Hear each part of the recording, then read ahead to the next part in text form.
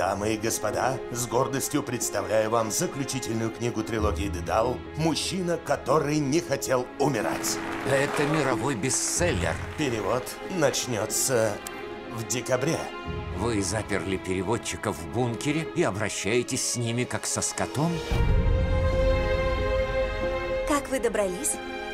Никто не должен знать, что вы здесь. Очень мило.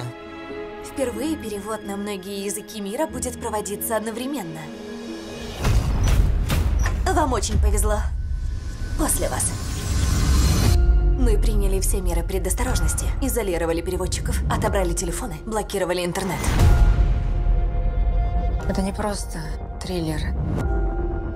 Это фундаментальный текст.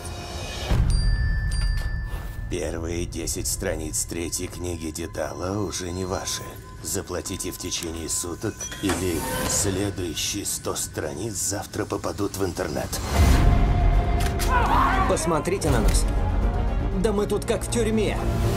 Я найду этого негодяя и убью его. По крайней мере, нас хакер пожалел. А дальше что? Пытки? Я знаю, что это ты, и докажу. Если все так сложилось, то что же будет в конце? Я перечитываю ее, чтобы понять, как ты это сделал.